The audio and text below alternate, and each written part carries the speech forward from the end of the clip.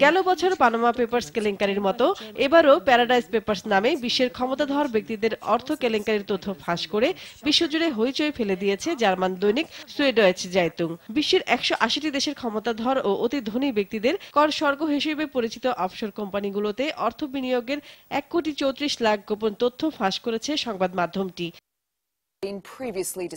ফাঁস হওয়া নতুন নথিতে জড়িয়েছে ব্রিটিশ রানী এলিজাবেথ মার্কিন প্রেসিডেন্ট ডোনাল্ড ট্রাম্প বাণিজ্য মন্ত্রী উইলসন রস কানাডার প্রধানমন্ত্রী জাস্টিন ট্রুডো সহ বিশ্বের একশো আশি জন খ্যাতিমান রাজনীতিবিদ তারকা কর্পোরেট অঙ্গনের ক্ষমতাধর ব্যবসায়ী নেতা ও প্রতিষ্ঠানের নাম. তথ্যগুলোর বেশিরভাগই এসেছে বারমোডা ভিত্তিক আইনি সহযোগী প্রতিষ্ঠান অ্যাপল বাই থেকে। প্রতিষ্ঠানটির দাবি আইন মেনেই কর ছাড়ের সুবিধা নিয়ে অফশোর বিনিয়োগ করেছেন গ্রাহকরা।